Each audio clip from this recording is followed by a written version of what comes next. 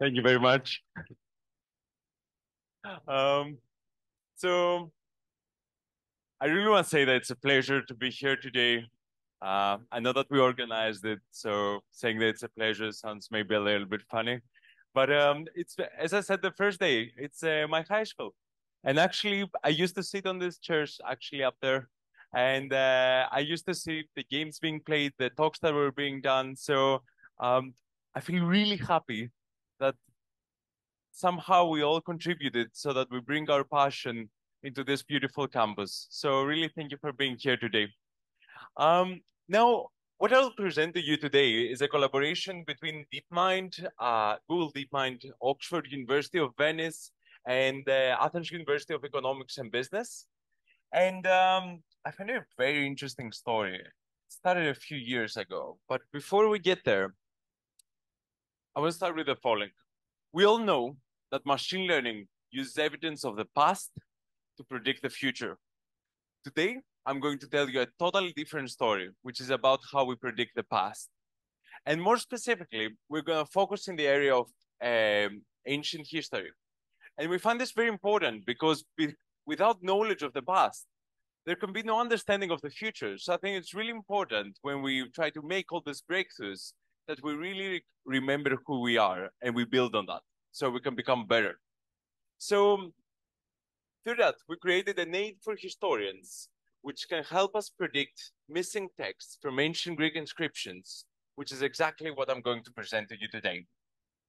So ancient history uses disciplines, uh, uh, relies on disciplines such as epigraphy, where epigraphy is the study of ancient texts, like this one. And these texts are inscribed, and they're inscribed in stone.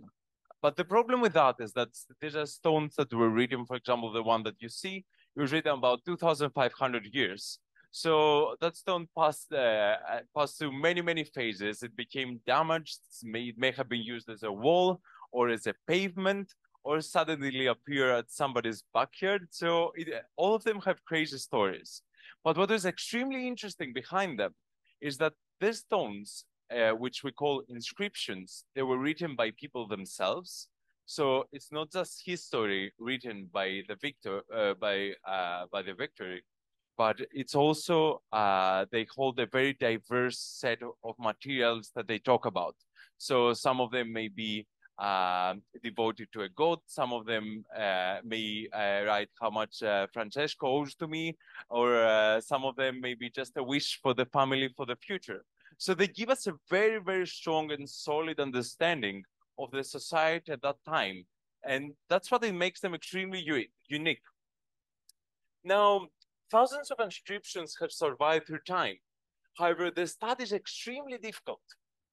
And it's difficult for the following reasons the first one is that um, inscriptions may be damaged and their texts are totally lost. And that is a big problem because it leaves the, the question of like, okay, um, what could be there? Because just a single word may change the whole meaning of what is going on. The same, at the same time, one of the biggest prob problems that they have is also that inscriptions can be trafficked. This means that, uh, especially in countries like Greece, you may find an inscription like that while you're swimming in the sea or a piece of pottery. And actually have a story like that from one of my colleagues that she went with uh, uh, her partner in a Greek island. And while they were swimming, because they were historians and both of them knew, they found a, a piece of pottery just on the sea. So these things can appear anywhere and we don't really know where they came from. But a difference of where they came from, it helps us rebuild history and understand it better. And last but not least, my first question when I was presented with this um, uh, with this problem was that like, sure, but why does it matter? Why, why, do we need to use machine learning to predict when they were written, for example? And um, the reason is that because I was like, radiocarbon dating works pretty, pretty well. But this is a stone. So if you try to date the stone, that makes no sense as of the date that the text was written. So the three main problems that the historian uh, has uh, during their study and an epigrapher faces uh, in their study, and that is restoring the damaged text and predicting where and when these texts were written. So what if we could take advantage of all the recent advances that we've been seeing in uh, in machine learning with large language models and actually try to do this jointly? And to do that, first we need a data set. But before I get there, maybe I want to share, uh, and, and since we're talking about history, maybe I want to share a little bit on the history part of this project, because it all started exactly like you are. Um, I was in Oxford, and I, my favorite thing in Oxford was lunch. And the reason that uh, is not uh, because there's there's definitely some proof that I really enjoy lunch, but it was more like not just the food, it was the people. It was my first time that was in an environment where like I could have a chat with people that were passionate from all sorts of different uh, fields. And what I adore in this audience is that you all come with different ideas, with different perspectives. You are doctors, you're studying particle physics, you're studying theory. Uh, that's what that's exactly what we need. We need to bring people together. So while I was at lunch and people were discussing from Brexit at that time to molecular physics, uh, biology, and I was sitting with a historian friend of mine who she was extremely uh, tired trying to restore some inscriptions, and she was telling me all the frustration that she's going through. And immediately, as I think most of you, I have the the science virus. Immediately, when I hear a problem, I'm like, no, no, no. Problems are to be solved we need to find a way to do this. Can we automate it? And actually, that's how this project started back in 2016 or something. And since then, we've been building on that. But the project actually goes much, uh, many, many years before that. So uh, the first uh, the first thing to approach the project was uh, to try to understand what data there are there because as you all know, if there are no data, we cannot do much. Uh, that's where that's where we need to start from. So um, this was very challenging because actually the data set we ended up uh, uh, we ended up collecting um, even existed in floppy disks at some point. Um, it's really I, I, find it really interesting because um, we actually ended up choosing Greek uh, the Greek language because it has lots of peculiarities and it's very interesting to study uh, from a linguistic perspective. But at the same time, um, are you all familiar with Hewlett Packard uh, printers? HP doesn't only make printers, they have the Packard Humanities Institute, which actually has digitized the biggest amount of ancient Greek inscriptions that can be found. And that data set existed in floppy disks, then in CDs, and uh, now it exists online. But the problem with that is that it's not annotated by computer scientists, so um, but it's annotated by historians. That means that actually, if you see a piece of HTML, that's so much better annotated than anything you'll ever see on this data set. Like they con the inconsistencies were insane. Um, so we ended up scraping all the data and trying to clean it up as much as I can as much as we could. But the, the, the problem the problems were many. For example, this is a, a classic um, a classic text that you would find in the data set that on the top it had the region like where the historians thought that this text came from and then below uh, you can see where it was written when it was written which says init s i v a and uh, that actually means it was written between 400 and 350 BC. So we had to write an insane amount of regex expressions to actually end up like parsing all this data into a format that actually integers, not just a string like that. Um, and at the same time, the text itself is extremely noisy as of like annotations. And actually the things that you see in square brackets, these are guesses by historians. So there's not even just the, the text itself that is usable. There's just guesses that we have to maybe weigh them in the data set and um, consider that. And given that, we ended up with 70,000 texts. And when we ended up uh, having that number, I always had the question of like, but is that number even enough? It's the classic question of overfitting. So to bring this in perspective, I always like to think of, uh, to visualize numbers and not just see the number of megabytes, but actually think about it. And actually, this is the number of data sets. These are just a few data sets that were used to train uh, GPT-3. And if you account the number of tokens and convert that to number of words and then convert the number of words into A4 pages, uh, that would be a 50 kilometer thick book. That's a lot of knowledge. And we know that these models work well.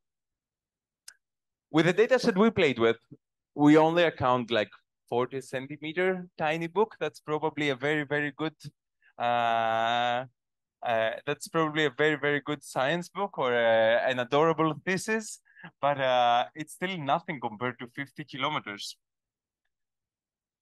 So actually what was interesting, one of the first observations before I end up in the model is that like what we saw, these are like all experiment runs, uh, and this the restoration accuracy in ancient Greek and Latin, the higher is better. But uh, what what was very interesting is that when you're playing with such small data sets, just a tiny change in the parameters, these are all experiments run in a couple of weeks, just a tiny change in the parameters would totally change the curves we were seeing. Now, the first thing we tried to do uh, is uh, because the amount of text was tiny, we tried to actually uh, do as many uh, text augmentation as we could. So the first thing would be that we try to do clipping, like you take a full text, you clip just a part of it. Then we did lots of text masking, which is actually exactly the problem we are solving as well. Like we're trying to mask characters and we're trying to predict them. So text masking naturally is the task we're trying to solve. At the same time, we saw that the performance increased even more with standard augmentations as of like word deletions or sentence swapping. And last but not least, we, we try to do label smoothing as of like uh, when we're making predictions to avoid the model to be overconfident about it. We call our model Ithaca, and we try to follow five maxims. The first one is that like we didn't want it to be another project where computer scientists come and say, uh, yeah, we solved the problem. That's it. Uh, we have the solution. Because truth to be told is that we, you cannot we could, you cannot really solve a problem unless you work with the subject matter experts and you can share knowledge and create a common language that you can collaborate with. And that was probably the, one of the biggest challenges in this and how we end up like uh, speaking the same language over the course of years. The next thing that we really try to focus on is how to make them all explainable so that the, we don't provide to historians that like yeah this is the right answer because of course there is no right answer but we can provide them with all the and visualize the hypothesis of the model so they can use it in their own hypothesis afterwards. And most of all what we wanted to focus on and that was uh, very important from the beginning is that we want to make everything open like I know that many times companies try to file patents for what they do, or they try to uh, not share the full models, or maybe not make them public the way it's. We made everything public, and we try to make it as accessible to historians as we could. Now, um, what we do is that we try to solve the three tasks of restoration, um, geographical attribution, and chronological attribution at the same time. So what the historian uh, does is that they come with the ancient text and they type it into the transform model we have.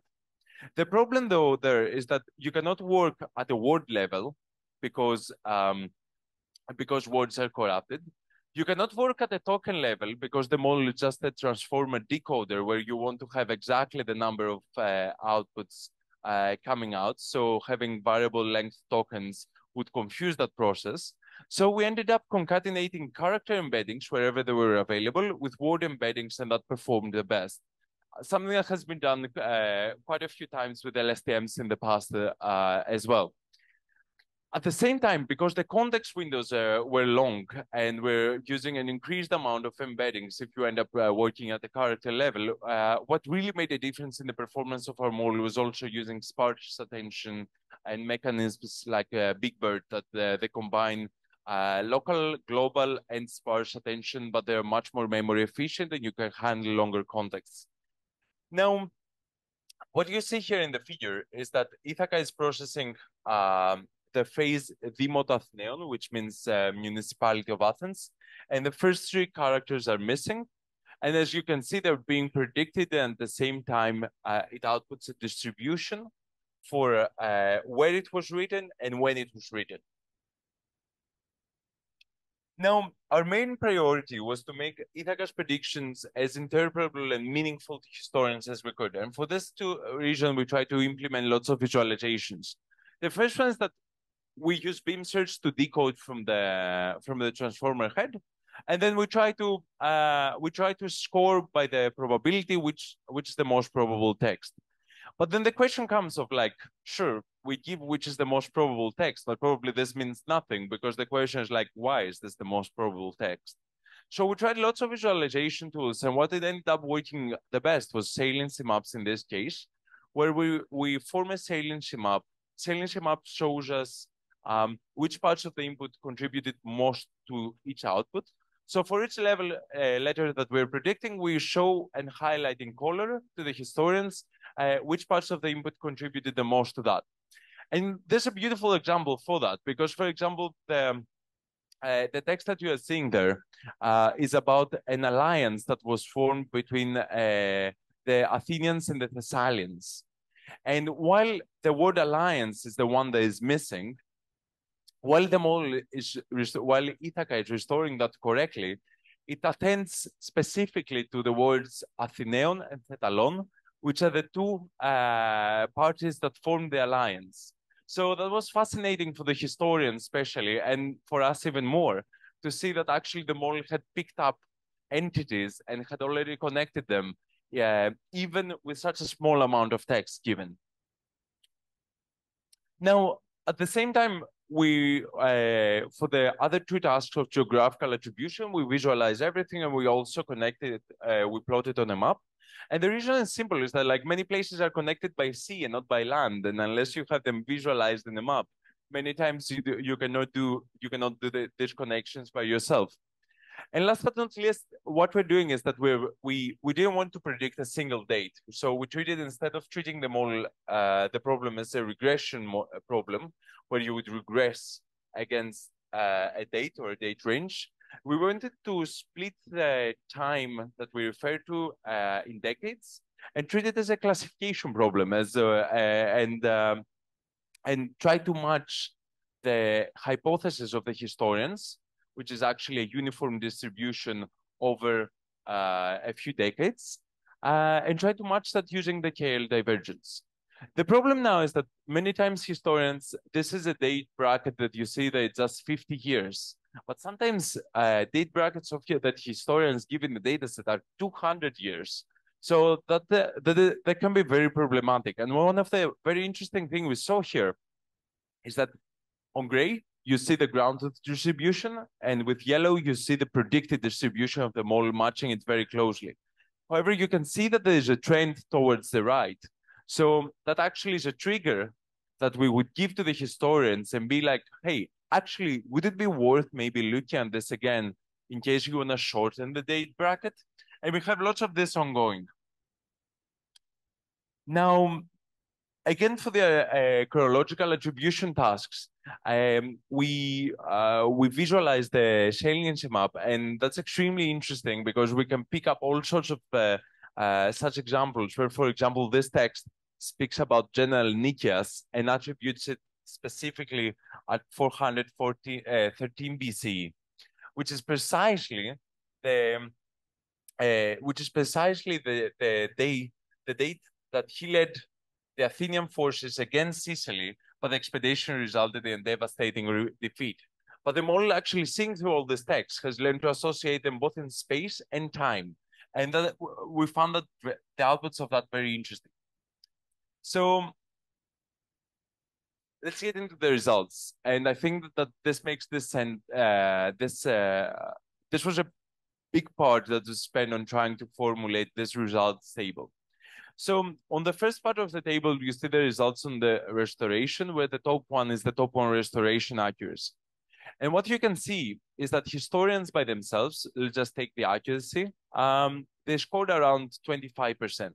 So we actually measured a few students from Oxford uh, and they were PhD students on how well they do on the restoration of texts. And then we measured the Ithaca's performance that is nearly double. But what we found fascinating is that when then we measured exactly the same students again, using the model itself. And what was fascinating to see is that actually historians that use the model, uh, not only they nearly triple the performance of themselves, but they also outper, outper, outperform the model itself, which is a beautiful example that like and that is the news that we should be stressing and we should be that's the kind of research that I feel we should be pushing forward that like It's not that AI is going to take their jobs. AI is not there to take their jobs. AI is to make them more efficient into their jobs. It's just another tool. And I like to say, you know, the way that, for example, microscopes and telescopes expand the real of the realm of science. That's just another tool for them. But this is one of the first ones. Um, now, we also computed more human baselines, which is, let's take, for example, the region attribution, how historians usually approach this problem is that they try to find what names exist on the text, and then they have a list of when these names appeared, and they try to find a smart combination of those. So this baseline is called onomastics, coming from the Greek word name. Um, as you can see, in the case of uh, region attribution, our results are nearly triple the human baseline. And at the same time, one of the most fascinating results that I find is that Ithaca is able to date texts within uh, 30 years, within less than 30 years of accuracy. And that is really impressive, given that we're talking about texts that they were later written more than 2,000 years ago. Now, the first thing we did was uh, this was a line of work that started earlier. So the first thing we did um, was to consider what is actually right. So what we go and do is that we actually delete text that we know that it's there, and then we give it to the model. But this comes with a catch that maybe that text appears in another text that is cross-referenced or something, uh, uh, or which is like it's very common that this text can be formulaic. So one of the first things we try to do is that as with every discipline, there's a book that you always refer to. And for epigra- ancient Greek epigraphers, that's Rhodes and Osborne 2000, uh, 2003. So they had do, done some of the most impressive restorations that they are really considered grounders that they never existed before. And they, they have them on the book. So what we went there and did is that we first compared the performance with our previous model, which was Pythia, and that was just an LSTM, and compared it with a with a transformer. And of course, you can see that the performance of the transformer, as expected, is much better. Now, we had lots of data, and the historians wanted to go through all the results one by one and slowly see if they pick up something that is actually interesting and related to the work. And seeing that for me was like, no, no, no. We started to automate the process making automating just a part of it and making it manual again doesn't make any sense. That led at least to one month fight. It's not easy to convince somebody to change what they do. But it was the beautiful thing of like working together, we slowly started to develop a common language. And the common language was sometimes maybe you need an example to see to understand what exactly it is. Or so what I and started to do is that we're looking for uh, specific words or specific examples that the model that we know very well that the model picks up and they have impact. So what we did is a little bit complex, but I'm going to try to explain it uh, and we'll uh, get there, which is that every text, we formed it as a bag of words.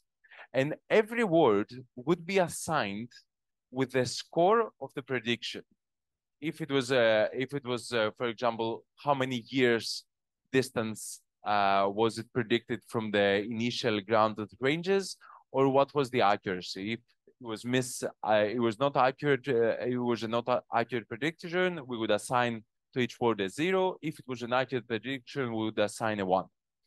So now then we'd go through all of the evaluation uh, set and in we would accumulate the scores from every word. So we would create a list where we knew which words, when they appeared, the model was very accurate in the predictions, which is very interesting because then all sorts of patterns emerge. And one of the patterns we actually found was that there's a there's a whole set of words that they're they're related to actually uh, exchange of slaves and they were all assigned in Delphi because people would go there and ask the oracle about that. And we found lots of patterns like that. And pretty much like any inscription that has some of these words, it was always accurately predicted. Now, what was interesting is that even if we would delete these words so that we could make some kind of ablation and see like, is the model actually learning anything? or is it just a word that it's learning and it's learning to predict it? The scores would stay exactly the same. So that meant that actually the words did affect the prediction a lot, but it was the whole context that was taken under consideration. Now, this is one of my favorite uh, examples. I think that uh, that is the way that we should see this um, uh, these models coming up. So to demonstrate Ithaca's creative potential, we decided to apply uh, Ithaca to a contemporary methodological debate that uh, uh, historians have. So we're in Thessaloniki, second largest city. I'll travel you to Athens because there exists a group of Athenian decrees that their dates is extremely disputed. The conventional opinion is that these texts were written 450 BC, but more recent uh, generation of historians thinks that these texts were written 440s BC. And actually the dating that our dataset has uh, aligns with the old evaluations, 450. And of course, you, you can look at me and be like, but Yannis, these are just 30 years of history. What's the difference? Like, is anything really changing? Think of how many things happened in the last three years. Think of what we've been through. And I, these are even more crucial years. Actually, these were the most crucial years of Athenian imperialism. And they have uh, momentous repercussions to uh, our understanding of wars, politics of that time, and everything. These were the years of Pericles, Plato, Socrates. So just a little bit of shift changes the order of everything. So what we did is that we we excluded this uh, this data from the data set itself, and we retrained our model on the whole data set of inscriptions. And what we actually show is that um, when we ask the model to predict the dates and we use the new ground, the grounders of the new uh, assumptions from historians, we saw that we actually align extremely close, uh, like we're only five years away from the new grounders that were uh, reevaluated, compared to the old ground, uh, co compared to the data set itself, it was 25 years away from the new evaluation. And that, uh, that one I find it fascinating from the following perspective, is that these models can actually work. We know we have like denoising autoencoders and we know that these models have an amazing ability to digest information and compress it. And we actually see and try to demonstrate with this example that by compressing this information, you may be able to denoise it. Of course, this is not a guarantee. This is an observation afterwards. But the fact that the data set is wrong, you exclude the text, you combine all the data set itself again, and you ask the model to predict it, and it gives you a more accurate prediction than the data set itself, what existed. That's very inspiring of how we could maybe redate our history. Maybe we could uh, we could combine all these assumptions of different people. And it kind of makes sense as well, like we to justify it, because if you're uh, a historian, probably you specialize at a specific period of time, at a specific place. But it's you don't interact with others at different places. Of course, a culture is shared between places because uh, there uh, there's trade, there are similar religions, maybe there were colonies. So actually being able to share all this information and combine it for the first time leads to magnificent results. Um, now, there are lots of problems that actually are interesting into this because we actually started a new line of work, like nobody had tried to use deep learning, um, not just to predict OCR or um, maybe like there are several tasks. We recently did a survey. I'll refer to that. But like this was the first big application of deep learning at that scale. Of course, the problems are many. One of them is, for example, that data circularity. There's no ground truth of uh, when something was written we take historian assumptions and we base we take that as the ground truth. So it's the big question, like, could you actually approach this maybe in an even more probabilistic way rather than just digesting the data? However, what we saw even using books that were considered really the gold standard, we saw that actually these models align perfectly with them. So we proceeded with our research. At the same time, Ithaca is really good, even in a data set that it's uh, it's very noisy, let's say in a polite way. Uh, we saw that this models work very well into denoising things. And um, at the same I, at the same time, I really want to stress that everything is an assistive tool. Like it's not an idea of like replacing epigraphers or something like that. Now, our goal when we started this was to make this research publicly uh, available to everyone. So we actually paired with Google Cloud and uh, the Google Arts and Culture Institute, and we tried to make a, a freely available interface, which is under ithaca.deepmind.com, uh, so that everybody can use it. Now, it's funny because it's like ChatGPT. It's uh, people may be using it, but they will never admit that I used it to write this text. And I think it's exactly the same here, right? Like you don't want to admit that um, uh, that if you're a researcher, that you're using a tool to help you because maybe you're too proud or you feel. I think the times are changing in this, but we're we're leaving the change now. So I find it very interesting the fact that like it's been only two papers that they've been using our work so far, and they claim it but we see an enormous amount of requests given the amount of historians that exist in this field, which is very interesting uh, to kind of connect it. Like I think we have uh, something about 300, I think we have something like 300 unique new queries um, per week or per month. I can't remember exactly, which is still impressive compared to the amount of historians actually working in this area and that they're active. Um, now, of course, uh, I find that this is not just the only adoption. I think I have some more statistics afterwards actually about this now that I remember.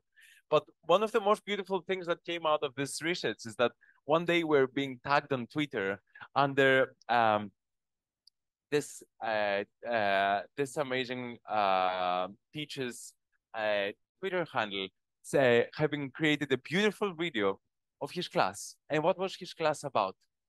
It was history and AI together like he was like, why should we have a, a lesson of history and a lesson of uh, computers that are separate? And he done an amazing effort into creating a whole curriculum for the students of how to teach ancient Greek. This is in Ghent uh, through AI. And I find this extremely inspiring because he started a Sparkle, and now we're filming a video together that is going to be released in a couple of weeks, uh, where we have actually 80 teachers in Europe using our model, or actually a Colab notebook that has been adapted from our model to help the students learn history, which is fascinating because it feels like it's the next uh, generation of historians uh, being trained. But at the same time, it's beautiful to see that like the, the each teacher has about 20 kids. And given that this has been running for two years, that's a lot of students actually that they have this all new mentality. Now, as I said earlier, yes. Okay, so it's been 330 new jobs that are submitted per week, which is a surprising amount, uh, as we discussed earlier. Last but not least, like I think that all this uh, line of research uh, triggered to me maybe all my Mediterranean genes that I had inside me which is like try to understand better what are the things we can have impact. And I think that is really important. Like we're all going to do research if we're here, I would assume. But the question is that we all have limited time. Like it's a fact that you have just a limited uh, number of hours per day. And the big question is, first of all, like what makes you happy to devote them? And for me, the answer was that I want to have impact. I like to pick new problems that are not solved, and I like to pick problems that they can contribute to the greater good. And um, one of the things that this uh, whole line of work triggered to me immediately is try to understand what are the areas that someone can contribute. And actually, we did a huge survey. We covered more than 500 uh, papers in the area of uh, AI for humanities and try to understand what exactly are the problems that uh, that uh, exist there. And some of the very interesting findings were the following. First of all, the most interesting papers were the ones that they were formed by interdisciplinary teams. So what I would encourage you today and for this week is that if you find somebody that you communicate well, but you work in different fields, give it an extra effort to try to collaborate. I I I I, have many idea many uh, I think I have many memories and uh, vivid collaborations to share. For example, with like um, or, or, even discussions that I've uh, uh, I've tried to help with my machine learning expertise. Uh, different people, and I find them so interesting because you get an opportunity to learn also something new. And um, uh, at the same time, I would encourage you that, like, if you're interested in this area of uh, AI for culture, it's beautiful because you get to play with LLMs. Uh, whatever is being used uh, in all the big models that we're seeing today, but the data set is small, so the iterations uh, you don't have to wait a month. You wait just a few days to get a model back. And at the same time, because research is uh, the momentum in the field is just growing, it's it's beautiful that you have all the spectrum that you, uh, wherever you want to create or you want to be creative, you can just go and do it and you'll be the first. Um, we have this survey published and the last thing that we actually saw, and I found that very interesting, is that the biggest impact, so what you see there in the chart is actually the number of published papers and then it's the cumulative uh, number of, uh, of the distribution. And what was actually uh, very interesting is that there are spikes in the in the distribution, and these spikes were caused by uh, by workshops. Whenever there was a workshop uh, about uh, a very a similar uh, subject, they would hold the competition. And whenever there was a competition, that was fantastic because it meant that historians had sat down and formulated the problem into a machine learning interesting way, uh, in a, to a machine learning approachable way. And then people that were just enthusiastic about the problem, they would try to go and improve the scores. So my take-home message from this was that interdisciplinary teams work the best. It's also really nice to share maybe uh, the fact that research may not be working sometimes. Uh, and at the same time, if you really like something, workshops and competitions can really make a difference in the field. So that, I, I found that very interesting. Last but not least, and I found that uh, this is maybe my Greek side being expressed even more, is that like it's been about uh, 145 years since the archaeologist Schliemann brought the, the light the ruins of uh, the island of Ithaca. Now, news of this discovery soon appeared into the, into the relatively young journal at that time, Nature, which uh, would actually report on excavations as well on cities like uh, Troy, Mycenae, Knossos, and some of the most significant finds of modern archaeology. Fun fact, nature had just been founded less than a decade before Ithaca's discovery. So we can hardly claim that Ithaca is the first work bringing together the realms of science and antiquity. But returning to Ithaca, we hope that this road is a long one, full of adventure and full of discovery. So, as I told you in the beginning of the presentation, uh, with Ithaca, we used machine learning to predict the past. Then again, history has this uncanny tendency to endlessly repeat itself. So you could argue that Ithaca is actually another way of predicting the future, showing us yet again how culture, history, and machine learning are lastingly entwined. Thank you for your attention.